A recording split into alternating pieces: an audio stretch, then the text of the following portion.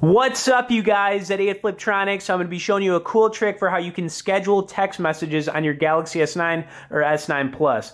All right, so if you want to send somebody a message but you want it to go on a delay, this is what you're going to need to do. I'm just going to pull up a random conversation I've been having with somebody, but let's just say that um, just, let's meet up. Let's meet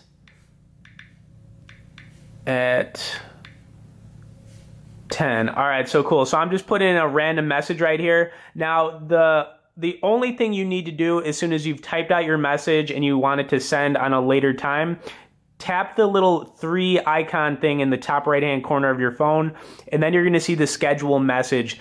Now, literally, all you have to do is click this and you can pull up the time.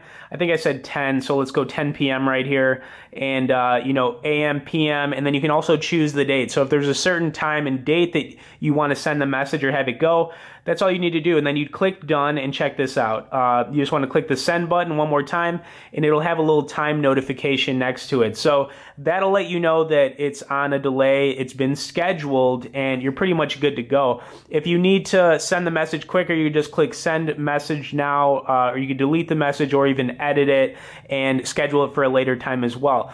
That's really all you need to do, uh, but it is a cool little trick, um, and uh, yeah, I mean, you can get in the habit of it, uh, and it'll probably help you plan things out a little bit better if you schedule things ahead of time like that with people. All right, if you could also hit the like and share button on this video, I'd appreciate it. Anybody out there that's not currently subscribed to us, hit that subscribe, and we'll see